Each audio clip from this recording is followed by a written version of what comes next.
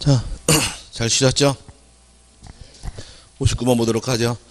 한동 건물을 구분한 건물에 있어서의 등기부의 구성에 관한 기술 중 틀린 것은 1번 각 전유 부분에 대한 등기사항 증명서를 교부하는 경우 한동의 건물의 표제부와 각 구분 건물 즉 전유 부분에 대한 표제부 갑구 울금안을 등사하여 작성한다. 총 몇 장인가요? 그래서 넉 장이죠. 넉장 1등기로서 등본이 발급됩니다. 맞고 두 번째 한동 건물 전체에 대한 표제부와 한동 건물 표제부의 한동 건물 표시에는 소재, 대지의 지번, 종류, 구조, 면적을 기록한다. 맞았나요? 맞았죠? 아파트 한동 건물 전체 표제부의 경우는 기재할 사유가 한번 그려보시면 내가 외울 건 아니고 이거 뭐 외워서 될 건 아니고요. 만약에 우리 집이 101동 501호가 있을 경우에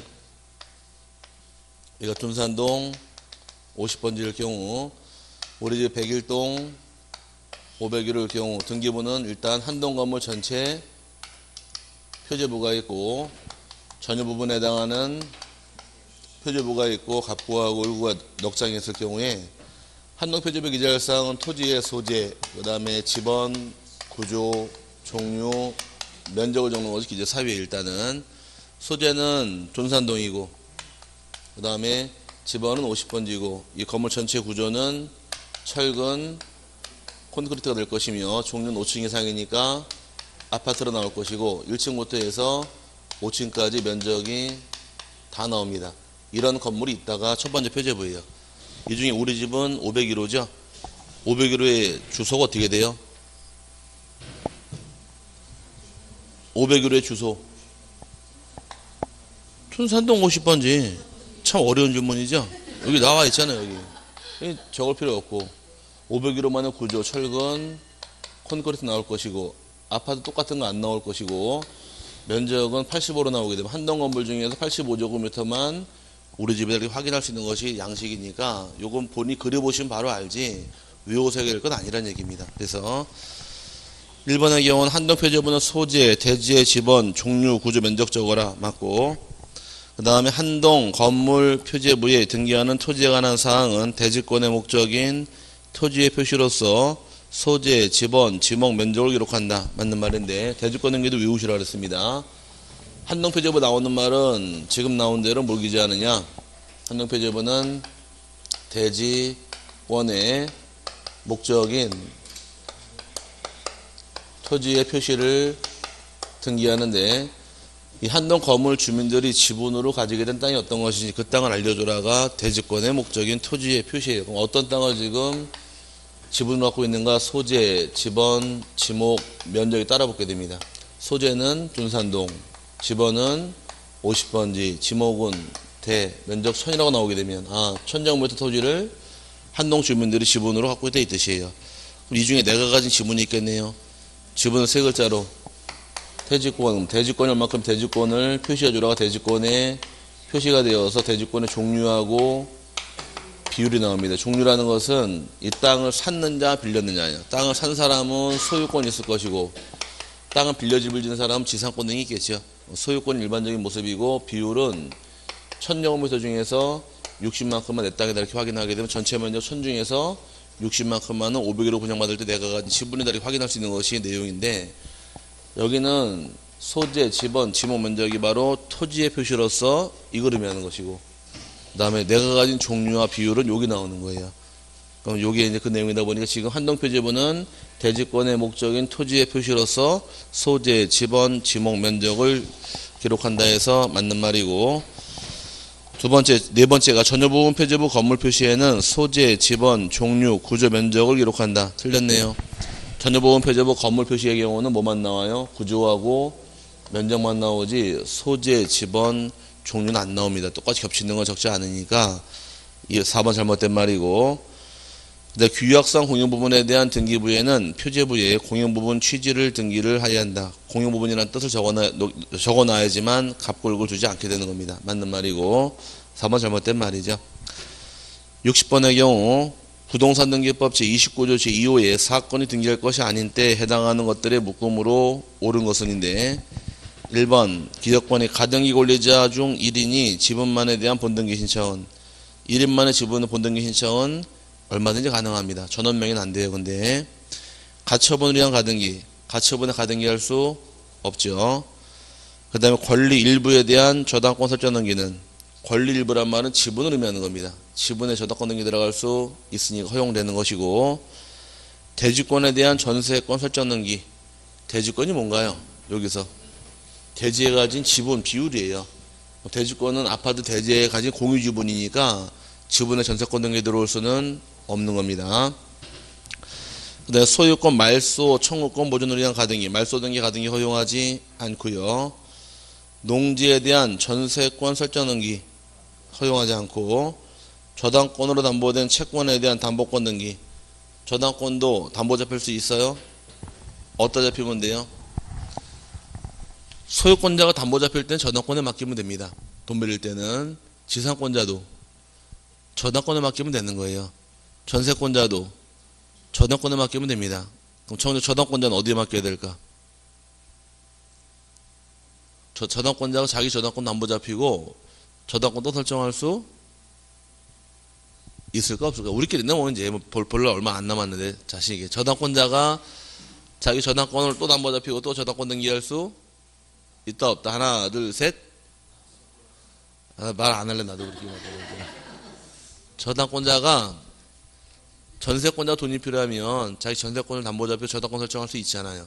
그럼 그런 개념으로 저당권자가 자기 저당권을 담보 잡히고 저당권을 또 설정할 수 그게 안 돼요. 저당권 설정할 권리는 세 개밖에 없습니다. 소유권하고 지상권하고 전세권자만 가능해요. 그 저당권자 입장은 저당권이 안 되기 때문에 너는 질권을 맡긴다거나 채권 남목권 맡기라 그래서 권리질권하고 채권 남목권이 태어나게 된 계기예요. 그럼 저당권은 다른 남, 저, 다- 권리에 담보 잡힐 수가 있는데 어디에 맡기실 것? 권리질권이나 채권 남목권에 맡기는 거지 저당권자가 또 저당권 설정할 수 없는 겁니다. 그래서 시효권도 맞는 말이에요. 담보권 등기가 저- 권리질권은 자- 담보권이니까 그래서 등기 못하는 것은 니은번하고 리을번하고 미은번하고 비읍번 네 개가 등기가 안 되니까 답은 2번의 답입니다. 61번의 경우에 전자신청 절차에 관한 설명 중 옳지 못한 설명은 1번 법인 아닌 사단이나 재단에 대한 등기는 전자신청할 수 없다. 법인 아닌 사단, 재단 전자신청 못하는 거 맞았고요. 두 번째 개인인 당사자가 직접 전자신청을 하고자 하는 경우 공인인증서 정보와 사용자 등록번호로서 사용자 인증을 해야 한다. 본인 인증 받아야지만 전자 신청할 수도 있고 신청한 내용을 취할 수도 있고 신청한 내용 보정할 수도 있게 됩니다. 맞고요. 세 번째 전자 신청한 등기 사건의 승인은 공동 신청할 사건에 대해서는 승인 대상자로 지정된 상대방이 승인하고 대리 신청한 사건에 대해서는 당사자인 본인과 대리인이 승인한다. 틀린 말인데 위에 거는 맞아요. 상대방이 승인한 건 맞았고 대리가 신청할 때는 본인만 승인받으면 되는 거 대리는 승인받을 필요가 없습니다. 승인받으려는 게뭘 의미하느냐? 전자신청은 이건 이건 실제로 뭐 하라고 얘기했지만 실제로 하는 사람 아무도 없어요 지금. 여러분이 법무사 저한테 만약 등기를 전자신청 위임하게 되면 제가 전자신청 할 거 아니에요. 제가 대리라는 사실이 위임장에 안 들어가니까 모른다는 얘기 지금. 이해 갔어요? 우리가 내가 대리라는 사실 모르니까 여러분이 대부분 인터넷 등기에서 접속한 다음에 회원 가입한 다음에 딱 접속하게 되면 거기에 팝업창이 떠요. 법무사 누구한테 등기사건 위임한 거 맞습니까? 라고 뜹니다. 그걸 확인 눌러줘야 돼요. 그래야지만 제가 대리권이 있는 게 확인되면서 등기 저- 저- 저- 어, 신청할 수 있는 거지 이 확인을 그 뜻이에요. 그러니까 실제로는 아, 여러분이 법무사한테 등기 맡기는데 갑자기 법무사 하는 말이 전자신청해야 되니까 인터넷 등기소 들어가셔서 회원가입부터 하세요. 아 누가 할까 그거를 그러니까 이거 하는 경우 거의 없다는 얘기예요 지금. 그 위임받는 법, 어, 법무사들도 대부분 서면 등기 들어가지 전자신청 안 해요. 이거는 돈 들여서 제가 듣기 2조 8천억인가 들어갔다 그러더라고 전자신청 하는데 구축 비용이 하는 사람이 전무하다시피 해요 지금. 왜? 아, 여러분 지금 대법원 인터넷 등기소 회원가입 하셨어요? 안 했잖아요. 법무사에 딱 맡겼더니 하는 말이 가 회원가입 하고 오시라 그러면은 짜증나지 않아 이거? 그러니까 그거 안 하게 하려고 다 서면 등기 들어가지 전자신청 안 하는 겁니다. 그래서 그게 문제예요. 어쨌든 간에 대리인은 승인받을 필요 없고 본인이 승인해 줘야 되는 겁니다. 내가 데리고 줬다고. 그래서 3번 틀린 말이고 4번이 변호사나 법무사가 아닌 자는 다른 사람을 대리하여 전자신청을 할 수 없다. 맞고 5번 전자신청의 경우 접수번호는 전산정보 처리 조직에 의하여 자동적으로 생성된 접수번호를 부여한다. 맞는 말이 자동적으로 저장만 누른과 동시에 접수번호 딱 부여되기 때문에 맞는 말이 되고요. 62번의 경우는 부동산 등기법에 의한 등기표 정보 작성에 관한 설명으로 잘못된 것은 정보 작성하는 것은 121페이지 보시면 거기 박스에 들어가 있는 게 있을 겁니다. 121페이지 가니까 등기표 정보 작성하는 경우는 딱 규정이 되어 있어요. 등기표 정보 작성하는 경우는 세 가지 딱 규정되어 있는데 첫 번째가 권리에 대해서 보존 등기하는 경우, 그 다음에 설정 등기하는 경우, 이전 등기하는 경우 권리 등기표 정보를 작성한다고 규정되고 또 권리에 대해서 보존을 제외하고 설정하고 이전을 목적으로 가등기하는 경우도 정보를 작성을 하게 됩니다. 그 다음에 마지막이 권리자를 추가하거나 또는 변경하는 경우도 첨부를 해야 돼요. 추가의 가장 대표적인 얘기가 공유로 하시면 되겠죠. 공유. 변경하는 것은 합의로 하시면 됩니다. 왜냐? 공유 지분은 팔아먹을 수 있어요? 팔아먹을 수 있죠. 그럼 여러분하고 저하고 반반씩 공유로 있다가 제 지분을 다른 데 반을 또 팔아먹을 수 있으니까 권리도 추가가 되는 거예요. 근데 합의는 추가되는 게 아니라 변경 능계하게 돼 있으니까 합의는 지분이 되는 게안 되니까 어떻게 해라 합의명인 변경 능계하기 때문에 권리자가 추가나 변경이 되는 경우도 다 제공해 주는 겁니다. 이걸 주는 게 정보 정보 주는 경우예요. 그럼 여기 없으면 정보가 나오지 않는 거예요. 반대로 그럼 표지부 등기는 정보 나올까 안 나올까? 안 나오는 겁니다. 말소 등기하면 정보 나올까요? 말소 등기 정보 나오지 않아요. 여기 없으니까. 그럼 말소 회복 등기 이야기는 정보 나올까요? 안 나오겠죠?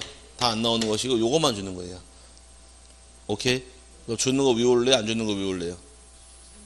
주는 걸 외워야지 이거를. 이거 기본적으로 알고 있어야 돼요. 그럼 권리에 대해서 설정, 보전, 이전 그 다음에 권리에 대해서 설정과 이전에 가등기 하는 경우 권리자를 추가나 변경하는 경우에 잡아놓고 넘어가시고 여기 없으면 정보가 나오지 않으니까 요거를 문제 푸는 겁니다. 1번이 권리자를 추가하는 경정 등기를 한 경우에 등기표 정보를 작성하는 권리자 추가라만 나왔나요? 그럼 작성한다 맞고 가등기한 경우에도 등기표 정보를 작성한다. 가등기에도 정보 나오고 권리의 보전, 설정, 유자 등기를 한 경우에 등기표 정보를 작성한다. 맞고요. 권리의 말소 등기나 부동산 표시의 등기 또는 등기 명인 표시의 변경 등기를 한 경우에 등기표 정보를 작성한다. 이건 없죠. 3번, 4번이 답이고 5번이 승소한 등기 의무자 신청에 의한 등기를 한 경우 근데 채권자 대위에 의하여 등기를 하는 경우에는 등기표 정보를 작성하지 않는다. 왜 그럴까?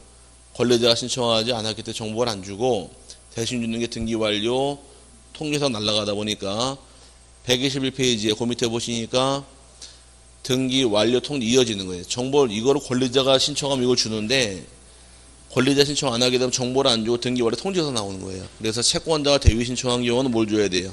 피대의자에게 등기 완료 통지서 주고 승소한 등기 의무자 신청한 경우도 권리자 신청한 게 아니니까 권리자에게 등기 완료 통지서가 나가기 때문에 자 큰 틀이에요. 자 여기 보세요.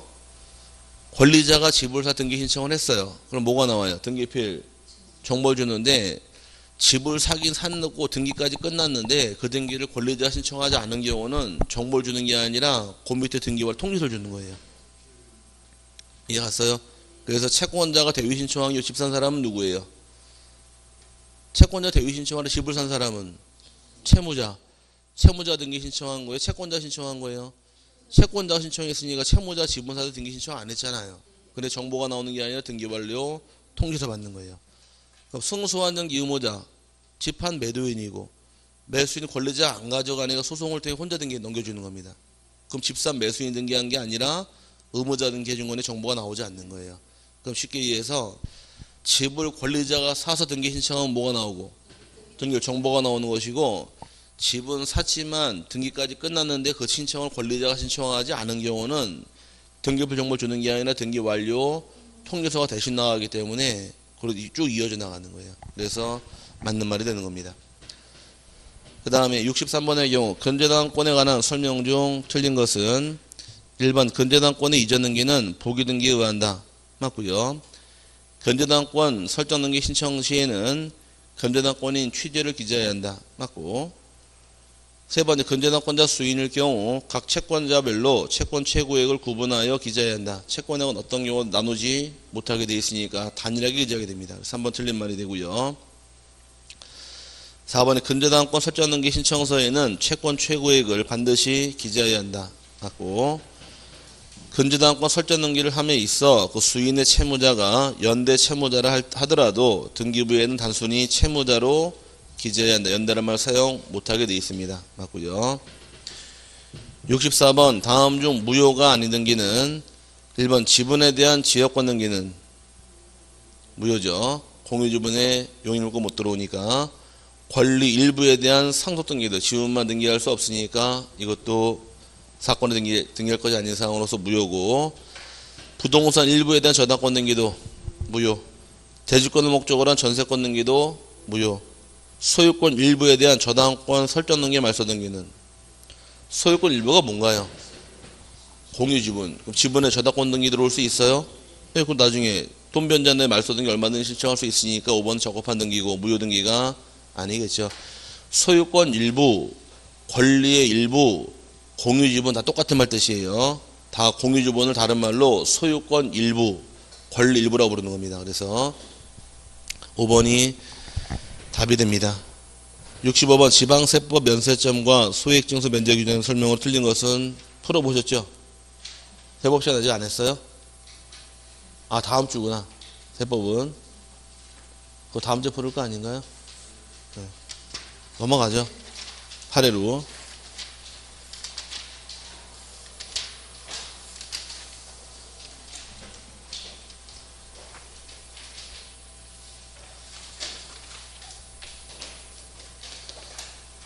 하래가 몇 페이지냐? 152페이지에 8회입니다.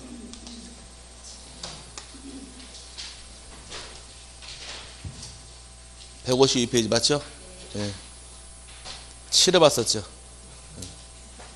1번 다시 1번 축척 변경 절차에 대한 설명으로 옳은 것은 1번 토지 소유자는 청산금의 납부 고지를 받은 날로부터 6개월 이내에 청산금을 지적소관청에 납부해야 한다. 낼 때는 3월 내 내야 되니까 1번 틀린 말이고 받을 때는 6개월이 되겠죠. 2번 지적소관청은 청산금을 산정한 때에는 청산금 조서를 작성하고 청산금이 결정되었다는 뜻을 20일 이상 공고하여 일반인이 열람할 수 있도록 있게 하여야 한다. 틀렸네요. 청산금 공고는 20일이 아니라 15일입니다. 시행 공고가 20일이고 청산금은 15일짜리예요. 그 다음에 음, 세 번째 토지 표시는 지적 순양행으로 결정한 때 확정된 것으로 본다. 틀렸죠? 청산금 납부와 지급이 완료가 된 때 확정 공고를 하게 돼 있고 이때가 바로 토지 이동 있는 시기니까 그때 확정된 것이므로 청산금 납부와 지급 완료된 때 지체 없이 확정 공고를 하게 되고 이때가 바로 토지 이동이 발생한 시기가 되므로 측량으로 결정한 때가 아닙니다. 틀린 말이고요. 네 번째 지적소관청은 청산금의 결정을 공고한 날로부터 30일 이내에 토지 소유자에게 청산금의 납부고지 또는 수령통지를 해야 한다. 납부고지는 수령통지 30일이 아니라 20일입니다. 납부 두 글자, 수령 두 글자 20일이고 5번이 지적소관청은 축척 변경 시행기간 중에는 지적공모 정리를 할 수 없다. 맞았나요? 원칙은 언제까지 정지인가요? 축척 변경 확정 공고일까지는 정지하게 돼 있으니까 원칙 못하는 게 맞는 말이므로 5번이 맞는 말입니다. 하지만 예외 규정은 있어요. 축척 변경 위원회 의결이 있는 경우는 계속할 수가 있다 해서 원칙은 정지가 맞는 말이고 이외에도 존재합니다. 이런 내용 어디서 본 적 있어요? 이런 내용 어디서 본 적 있어요? 43페이지 보시면 맨 밑에 동그라미 3번에 지적 공모 정리와 경계보건 측량은 정지라고 써 있고 지적 소관청은 축척 변경 확정 공고일까지 지적 공모 정리와 경계보건 측량은 정지하여야 한다. 다만 축척 변경 위원회 의결이 있는 경우는 그러하지 아니하다는 예외 규정이 있었습니다. 누가 줄은 쳐놨죠 거기에. 예, 줄만 치면 뭐예요? 알아야지. 거기 줄에 빨래 널려 있어요. 자, 그 다음에 1번이, 5번이 답이고, 42번.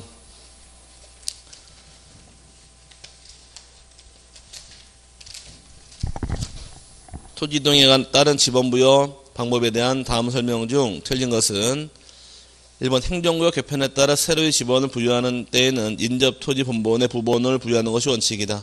행정구역 변경이 생기면 지번 어떻게 부여하나요? 지적 확정 측량 실시 지역을 준용하는 거죠. 지적 확정 측량적 준용하는 경우 세 가지 있더라. 지번의 변경, 행정구역의 개편, 축척 변경이 있는 경우는 지적 확정 측량적 준용하는 거지 인접 지, 본본에 부여, 어, 부본 부여하는 것이 아니니까 1번 잘못된 말이고요.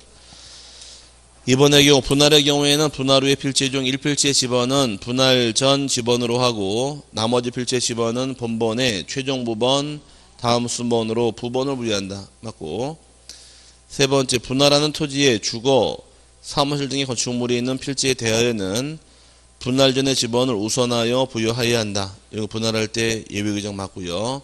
의무 규정입니다. 이거는 네 번째 합병하는 경우에는 합병 대상 지번 중 선순위 지번을 그 지번으로 하되 본번으로 된 지번이 있는 때에는 본번 중 선순위 지번을 합병 후의 지번으로 한다.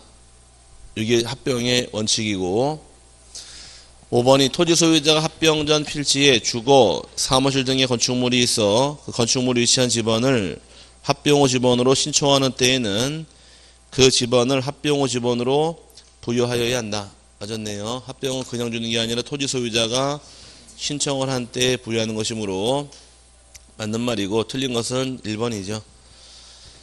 그 다음에 43번 지목에 대한 설명으로 옳은 것은 해상에 인공으로 조성된 수산생물의 번식 또는 양식을 위한 시설을 갖춘 부지와 이에 접속된 부속 시설물의 부지는 양어장으로 한다. 양어장이 되기 위해서 해상이 아니라 육상이죠, 육상. 얼마 전에 또 뉴스 나왔더라고요. 참치 양식 성공했다고. 유일하게 일본이 성공하고, 근데 일본에서 시사한 녀석들. 알하고 수정란을 안 줬대요. 우리가 또 개발한다 그러니까 딱 맞고서 이제 자료 일체 협조를 안 해줬대요. 그래가지고서 몰타공화국까지 가가지고서 지구 반대편까지 가가지고 그 수정액을 얻어와가지고 결국은 성공을 했는데 부하에 참 가깝고도 먼 나라가 일본이죠.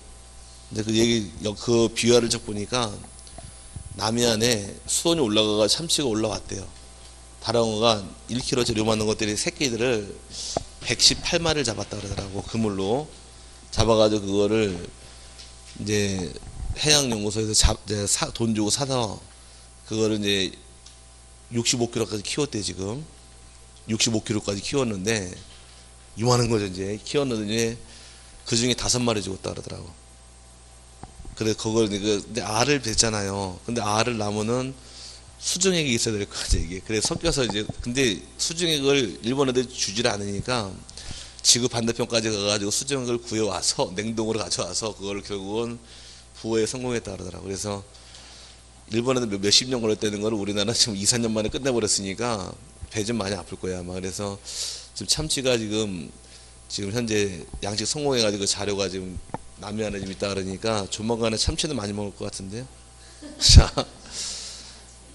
아니 근데 그 참치가 다랑어가 가끔 올라와 요만한 다랑어들은 올라오는데 전 바둑낚시 좋아해가지고서 6월 말 7월 초 장마철 막 시작될 때 이 멸치대가 서해안으로 들어오거든 태안 쪽으로 그때 딱 들어와요.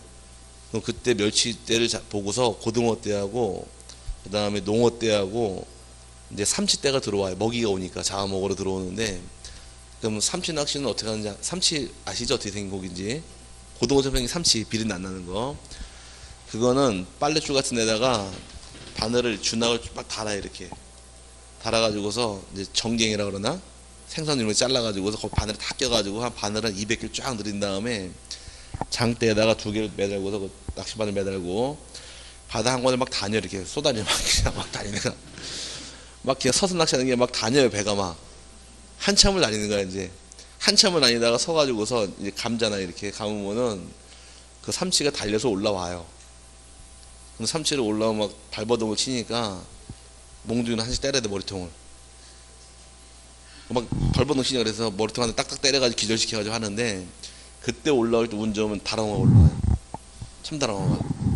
그거는 가져오면 그대로 얼렸다가 회 떠먹으면 어 진짜 참치 진짜 맛있는데 삼치 낚시가 삼치는 진짜 진짜 뭐라 그러나? 중노동 했나?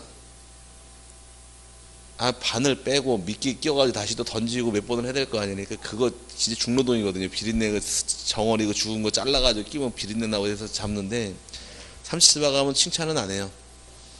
회는 못 먹으니까. 근데 냉동실에 넣어가지고서 고 먹으면 참 치때때로 끊어 먹으면 맛있더라고요. 제가 잡아본 삼치 중에 제일 큰 게 한 1m짜리. 대왕 삼치라고 파는 거죠 삼치 삼치 이만해 딱 이만한데 롯데마트 가면 한 마리 3만 원에 팔더라고요 근데 그거 한번 잡아가지고서 이렇게 반 갈라가지고 고 먹는데 죽어도 속이 안 익어. 너무 두꺼워서 그래서 다시 또 반대막 또 쪼개가지고 고 먹은 적이 있었는데 아 맛있어요. 어쨌든 간에 근데 한 번도 못 가네. 여기 가까우시니까 그 낚시하러 가는데 배 한 번 빌리는데 삼치 배는 80만 원 받아요. 하루 잡으면 삼치 다 줘요. 태안으로. 네. 80만 원 하는 말이 그래요. 우리 마누라 하는 말. 80만 원에 삼치 사 먹으면 집으로 빡 먹이다 그래가지고서. 그래서 삼치 낚시 안 가는데 그러니까 말 맞지 않나요? 그러니까 네, 네 명이서 이렇게 가면은 20만 원씩 내는 거야 배값을 그래가지고서 배 타고 나가면은 20만 원 내고 삼치 한, 한 박스 사고 이제 잡아왔잖아요 그러면은 야이 인간아 20만 원 삼치를 사다 먹으면 그래서 어쨌든 간에 자, 해상이 아닌 육상이 돼야 됩니다 2번 자동차, 선박, 기차 등의 제작 또는 정비 공장 안에 설치된 급유, 송유술 등의 부지는 주유소용지이다. 공장 안에 있게 되면 지목원전보다 공장용지이지 주유소용지 아니고요. 세 번째 산림 및 원화를 이루고 있는 수림지, 중림지, 자갈 땅, 모래 땅, 습지, 황무지, 간석지 등의 토지는 임야로 한다. 2002년까지는 간석지까지 임야로 분류하다가 간석지를 빼버립니다. 간석지가 뭔가요? 갯벌이에요, 갯벌. 갯벌은 옛날에는 임야로 분류했었는데 갯벌은 물이 차보면 바다 잠겨버리니까 해수면과 인접한 토지 만주이니까 갯벌은 토지가 아니지 않습니까? 그래서 빼버린 거예요. 그 지금은 수림지, 중림지, 암석지, 자갈땅, 모래땅, 습지, 황무지까지만 임야로 보는 것이고 지적법상에서 간석지는 토지가 아닙니다. 그래서 간석지란 말은 빠져야 되고 아주 옛날에 뜬 규정이에요. 그 다음에 네 번째 사과, 배, 밤, 호도, 귤나무 등 과수류를 집단적으로 재배하는 토지와 이에 접속된 저장고 등 부속 시설물의 부지와 주거용 어축물의 부지는 과수원으로 한다. 틀린 말이죠. 주거용 어축물의 부지는 별도의 지목 대로 분류하니까 양립시키지 못하므로 4번 잘못된 말이고 5번이 국토의 계획 및 이용에 관한 법률에 의하여 공원 또는 녹지로 결정 고시된 토지는 공원으로 한다. 맞는 말은 5번이죠. 근데 공원이 아니고 두 개는 기억하시라 그랬어요. 묘지공원은 지목이 묘지고, 그 다음에 자연공업업상 공원은 임야. 자연공업업상 공원에서 국립공원이나 도립공원이나 군립공원은 임야라 그랬으니까 자연공업법은 임야니까 주의하셔야 돼요. 자연공업법에 해당하는 공원이 국립공원이 있고 도립공원이 있고 군립공원이 있는 겁니다. 그건 임야로 올라가니까 주의하셔야 되고 그 다음에 44번에 지적 측량에 대한 설명으로 틀린 것은 1번 지적 측량을 의뢰하고자 하는 자는 지적 측량 의뢰서에 의뢰 사유를 증명하는 서류를 첨부하여 지적 측량 수행자에게 제출해야 한다. 맞고요. 두 번째 지적 측량 수행자는 지적 측량 의뢰를 받은 때에는 측량 기간, 측량 일자 및 측량 수수료 등을 기재한 지적 측량 수행 계획서를 그 다음 날까지 지적소관청에 제출해야 한다. 맞고 세 번째 요건 보지 마시라 그랬죠. 경위 측량 방법으로 실시한 지적 확정 측량의 경우 지적 소관청 검사 이거는 없어진 규정입니다. 지금은 법조문상 없어졌기 때문에 보지 마시라 그랬고 그 다음에 4번이 이것도 좀 애매한 지문이에요. 동지역에서 지적 기준점 15점을 설치하여 측량하는 경우 검사 기간을 제외한 측량 기간은 9일이다. 맞았어요? 맞았어요? 앞에 뭐가 하나 붙어야 될 거 아니에요. 기준점만 설치한다 그러면 요것만 가지고 따지게 되면 4일이죠 4일. 앞에 뭐가 하나 붙어야 돼 빠져 있어요. 뭐 분할 측량을 하든 경계보건 측량하든 앞에 들어가야 돼요. 동지역에서 경계보건 측량을 실시하면서 또는 분할 측량을 하면서 기준점을 15점 설치한다. 이렇게 하면 정확하게 9일 떨어지는 거예요. 측량 기간은 며칠이고 5일이죠. 검사 기간은 4일. 그럼 측량 기간은 우리 앞서 배울 때 5일. 검사 기간은 4일.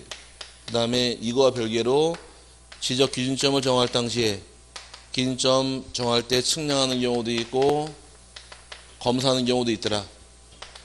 이때는 기준점이 15점 이하의 경우는 며칠을 주고 4일을 주고 15점을 초과하는 경우에는 4일에다가 초과하는 4점마다 1일씩을 더해 가더라. 들어본 경우 나세요? 그 다음에 요거와 별개로 당사자가 합의를 통해 측량하는 경우는 전체 측량 기간 중에서 4분의 3은 측량 기간으로 하고 나머지 4분의 1은 검사 기간으로 합니다. 이렇게 나눈 것이 요게 측량 기간이에요. 여기까지 본 경우는 나시죠? 그럼 여기서 문제가 달라 그러면은 요 기준점 구하는 것은 말 그대로 기초 측량에 해당되는 것이고 요 두 가지는 검사 측량, 아, 세부 측량이에요. 그럼 세부 측량, 기초 측량 별개니까 따로따로인데 아, 아무런 말이 없이 그냥 기준점 15점 구하고서 그 이건 앞뒤가 안 맞는 지문이고 뭐 하나 들어와야 돼 이 중에 하나가. 측량을 뺀 나머지가 세부 측량이라고 그랬으니까 43페이지 가보세요. 아니야 43페이지 아니라 측량이 몇 페이지 나올까? 50, 아, 제가 요약집 놓고 들어와서. 예, 거기, 거기, 거기. 거기 몇 페이지야, 거기가. 측량. 그럼 47페이지네. 47페이지에 측량이 맨 밑에 대상 남아있죠? 측량 대상이 총 몇 가지 있더라? 13가지가 있어요. 대상이 지적 측량 13가지 중에서 10번 하나가 뭐였었어요? 기초 측량. 거기 여기 들어와 있는 거예요. 나머지 12가지 세부 측량이라는 얘기. 그 나머 12가지 세부 측량에 10번 하나가 기초 측량이라는 얘기인데 그걸 따로 또 나눠서 들어와야 되는데 이것만 집어넣고서 그냥 15점 설치하면서 9이다 보면 이건 안 맞는 말이에요. 정확하게 만들려고 그러면 앞에 뭐가 하나 이게 들어와야 돼요. 그래서 뭐 분할 측량을 하는 경우에 이렇게 들어오면 정확하게 맞는 말이에요. 분할 측량하는 경우 측량 기간이 며칠이고? 5일. 예를 들어서 하나 말을 만드는 거예요 지금. 분할 측량을 하면서 기준점을 15점 설치하더라 그러면 정확하게 9일 떨어져 검사 기간 빼라 그랬으니까. 분할 측량 기간 5일에다가. 기준점 설치 기간 4일. 더하니까 9일. 그럼 정확하게 맞는데 이 말이 아무것도 없이 그냥 기준점을 15점 구하더라. 9일 이건 틀린 지문 돼버리는 거예요. 야, 그 답이 중요한 게 아니라 이건 알고 가자는 얘기 그냥 아시겠죠? 그래서 어쨌든 이 문제 좀 문제가 있는 문제고요. 그 다음에 5번이 그래서 우리끼리 말을 만들려고 그러면은 집어넣자고요. 동지역에서 분할 측량을 하면서 분할 측량을 하면서 지적 기준점을 15점을 설치하여 측량하는 경우 검사 기간을 제외했다 그러면 9일 정확하게 맞는 말이 되는 겁니다. 뭔 뜻인지 아셨죠? 세부와 기준 별개니까. 그 다음에 5번의 경우 지적 측량 의뢰인과 지적 측량 수행자가 서로 합의하여 따로 기간을 정하는 경우에는 전체 기간의 4분의 3은 측량 기간으로 전체 기간의 4분의 1은 측량 검사 기간으로 본다 해서 맞는 말이 되고 45번 지적 공부에 등록하는 사항으로 옳은 것은 1번 개별 공시지가와 면적은 토지대장과 임야대장에만 등록한다. 맞았네요. 두 개 1번이 정답이고 2번이 면적은 토지대장과 임야대장에만 임야대장에 등록하고 경계는 도면과 경계점 좌표 등록부에 등록한다. 경계는 도면에만 나오지 경계점 좌표 등록부 안 나옵니다. 틀렸고 그 다음에 세 번째 토지 소유자는 토지대장, 임야대장, 공유지 연명부, 대지권 등록부, 도면에 등록한다. 도면에는 소유자 나오지 않습니다. 소유자는 대장에만 나와요. 그 다음에 4번 토지의 고유번호는 모든 지적 공부에 등록한다. 틀렸죠? 고유번호는 도면에 빼고 나오니까 잘못된 말이고 지목과 축척은 모든 대장과 도면에 등록한다. 틀린 말인데 지목과 축척이 나오는 것은 4개 장부입니다. 토지대장하고 임야대장하고 지적도하고 임야도 대장이 4개가 있는데 공유지명부하고 대지권 등록부는 지목과 축척가 안 나오니까 모든 대장이 아니라 대장 중에서 토지대장하고 임야대장 두 개에다가 지적도 임야도에 축척하고 지목이 나오므로 잘못된 말이고 맞는 것은 1번 외에는 없습니다. 46번은 경계에 대한 설명으로 틀린 것은 1번 신규 등록, 등록 전환, 분할을 할 때에는 새로이 측량하여 각 필지의 경계를 결정한다. 신규 등록, 등록 전환, 분할을 했다 측량하는 것이니까 측량할 때 경계 정해라. 맞고요. 두 번째 합병에 따른 경계는 합병 전 각 필지의 경계가 합병으로 인하여 필요 없게 된 부분을 말소하여 결정하므로 지적 측량 없이 결정한다. 맞고요. 세 번째 토지의 지상 경계는 뚝 담장이나 그 밖의 구역의 목표가 될 만한 구조물 및 경계점 표지 등으로 표시한다. 맞고. 네 번째 연접되는 토지 간의 높낮이 차이가 없는 경우에는 그 구조물 등의 중앙을 기준으로 지상 경계를 새로 결정한다. 높낮이가 없는 경우는 중앙 맞고 5번이 국가기관 또는 지방 자치단체의 장이 토지를 취득하기 위하여 분할하는, 분할하고자 하는 경우에는 분할에 따른 지상 경계는 지상 건축물을 걸리게 결정할 수 있다. 이게 틀린 말인데 건물을 걸리게 분할하는 경우는 19페이지 맨 꼭대기 박스에 있어요. 요약집에. 웬만한 건 다 외우겠더라고 페이지 어디 있는지까지 다. 맨 꼭대기 보니까 법원에 확정 판결이 있는 경우 그 다음에 공공사업을 시행하는 경우 19페이지 19 19 19 됐어요? 확정 판결 공공사업 하는 경우 사업 시행적 경계 결정하는 경우 도시군 관리 계획선을 통해 분할하는 경우는 건물 물려도 무방하다 안에 국가나 지자체가 취득하는 경우는 들어와 있지 않으니까 5번은 잘못된 말입니다. 그래서 5번이 답이고요. 아 이렇게 설명하면 별것도 아닌데 문제가. 근데 왜 답이 안 보일까 그죠? 아 죽겠다 그죠? 혹시 오늘도 문제 푼다고 어제 유학집 한번 읽어보시고 푸셨어요? 안 보고 풀었죠? 참 맨땅 해야 되니까 그거는 문제를 풀려 그러면은 전날 내일 볼 문제 한번 유학집을 쭉 한번 읽어보시는 거예요. 그리고 문제를 풀어야지 공부가 되고, 되고 점수가 나오지. 아무것도, 아무것도 안 보고 맨땅 헤딩으로 와가지고서 이게 답이 뭐야? 지금 찌끄러 찌끄러 왔잖아 지금. 다 찍었지 푸는 게 없잖아요 지금 그러니까 자꾸 보고 풀고 틀리면 또 찾아보고 자꾸 봐야지 눈에 남는 거지. 미리 안 보고 와서 문제 풀면 공부 하나도 안 돼요. 그러니까 요약집은 말 그대로 얇- 얇으니까 밤이라도 한번 쭉 눈으로 한번 훑어보는 거예요. 그러고 나서 내일 시험 볼 거 보고 또 틀린 거 복습하시고 또 밤에 또 내일 보고 이렇게 이렇게 하고 가면은 요약집을 세 번 두 번 보는데 그러면 앞으로 계속 보니까 쭉쭉 올라가요. 근데 안 보고 푸는 거는 그거는 공부가 안 되고 또 공부하다 보면 문제 이거만 붙들고 실험하는 분 계시더라고. 똑같은 문제는 없어요. 내용을 아는 사람은 문제 지문을 바꿔놔도 뭔지 잡아내는데 문제 답으로 외운 사람은 지문 바꿔놓으면 다 틀리게 돼 있어요. 그러니까 공부가 헛다는 거니까 내용을 많이 아는 게 잘하는 거예요.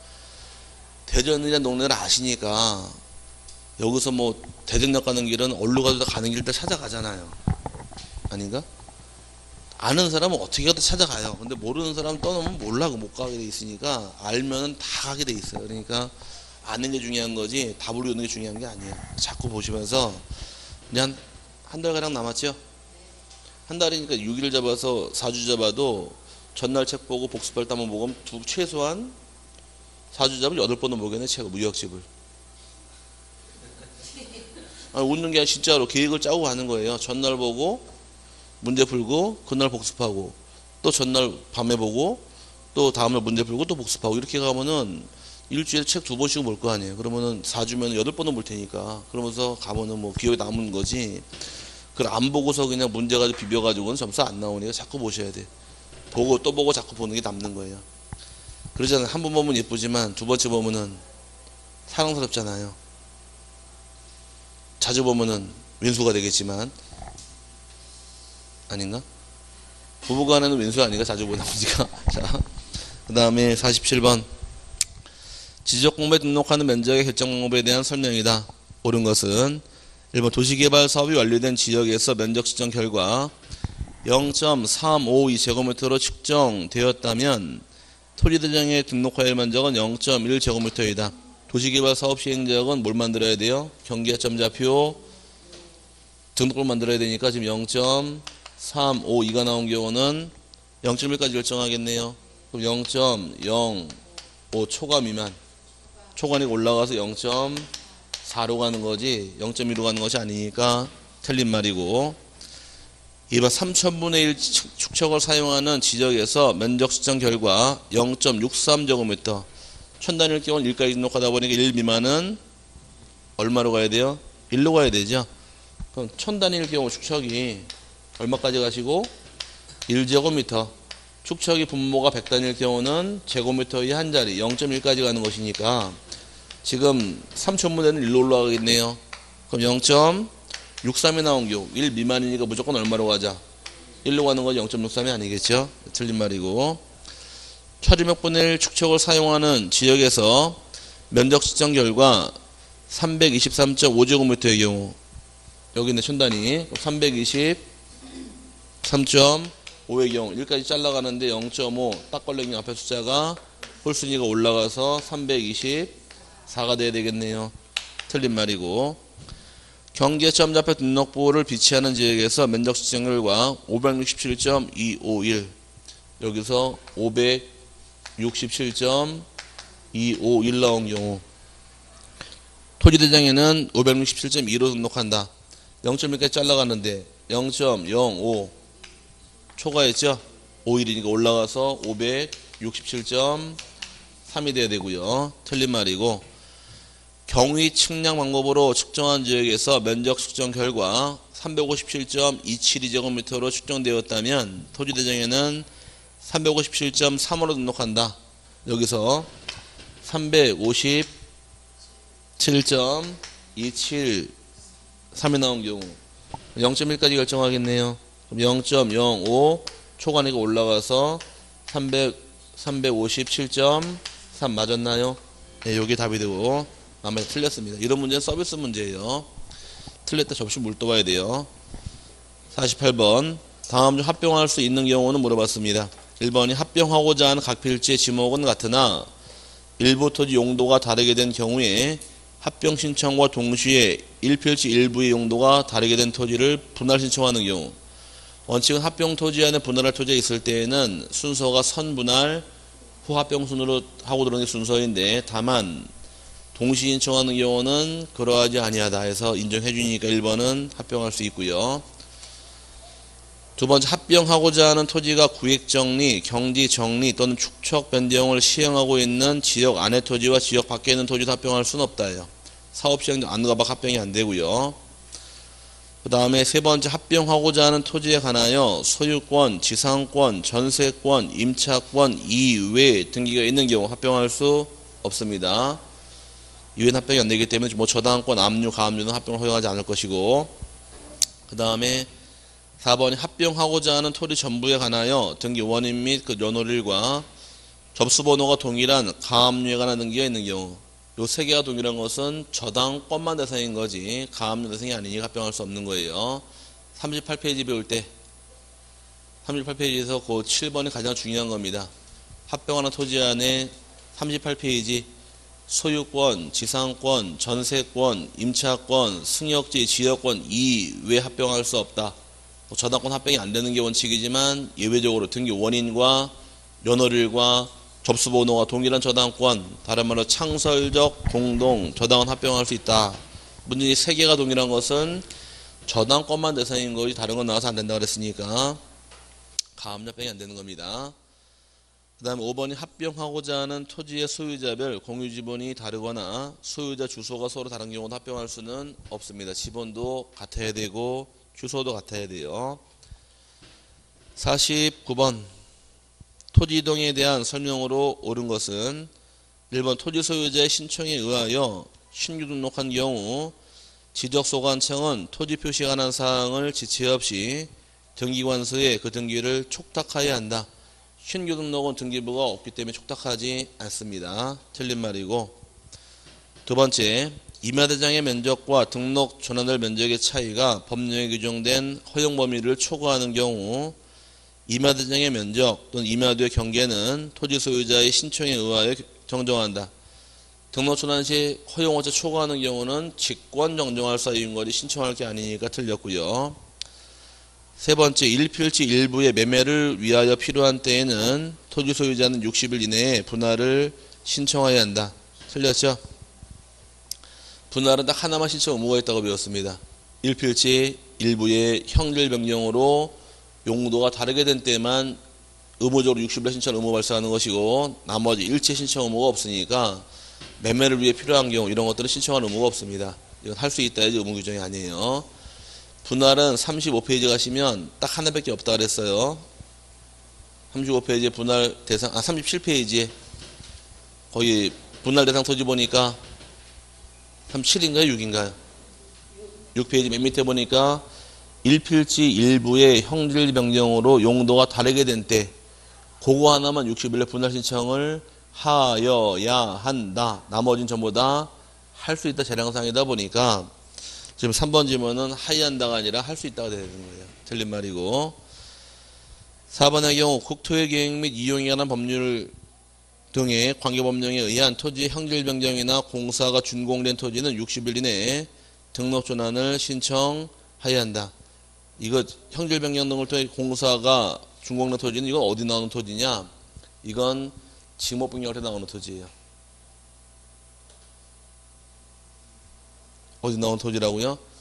징목 변경할 때 나올 토지고 그 다음에 5번이 토지 소유자는 수도용지, 체육용지, 공원 등의 지목으로 되는 토지에 대하여는 60일 이내에 합병을 신청하여야 한다. 맞는 말은 5번이네요. 합병은 신청 의무가 있는 것이 39페이지 중간에 두 개가 있더라. 원칙은 중간에 합병 39페이지, 38페이지 중간에 차려졌어요. 합병은 원칙이 신청 의무는 없는 게 원칙이 돼 예외적으로 주택법상 공동주택부지와 공공용 토지로 인용되는 지목 11가지에 해당하는 경우는 60일 합병 신청을 하여야 한다. 그래서 도로가 있었고 하천이 있었고 제방이 있었고 구호가 있었고 유지 있었고 수도용지하고 학교용지하고 철도용지하고 공원하고 공장용지하고 체육용지까지 60일에 신청하는 것이 의무규정이므로 수도용지나 공원, 체육용지는 60일 안에 합병 신청하여야 한다. 맞는 말은 5번이고 39페이지에 보니까 지목변경 대상 나와 있나요? 거기 뭐첫 번째 뭐가 나와 있어요? 국토의 계획 및 이용에 관한 법률 등 관계 법령에 의하, 의한 토지 형질 변경 등의 공사가 준공된 토지라고 나와 있죠. 그거는 지목 변경 대상 토지다 보니까 4번 틀린 말이 된 것이에요. 그럼 등록 전환 대상 토지는 뭐가 나와야 돼요? 나 같은 빨리 가겠어. 35페이지 맨 밑에. 산지관리법, 건축법 등 관계법령에 의한 이 말이 따라붙으면 등록 전환이고 국토의 계획이 따라붙으면 요거는 지목변경이 되는 거예요. 달라요 서로. 이해 갔어요? 등록전에는 뭐가 나와 있어? 산지관리법, 건축법 등 관계법령을 통해서 토지 형질 변경이 생겼다거나 건축물의 사용 검사 등으로 지목이 바뀌는 거지. 용도가 바뀌는 게 이게 등록전환 대상 토지고 지금처럼 국계법상 형질 변경 생겼다는 얘기는 이거는 지목 변경 대상 토지다 보니까 4번 질문에 등록전환이 아니라 뭘 신청해라? 지목 변경 신청에 대해서 4번 틀린 말이라는 얘기입니다. 구별할 수 있겠어요? 산지관리법은 뭐고? 등록전환 국토의 계획은 지목변경이다 보니까 그래서 틀린 말이 되어서 구별하시라는 얘기입니다. 그 다음에 넘어가서 50번부터는 또 잠깐 쉬었다가 마지막 한 번 더 하고 끝내도록 하죠.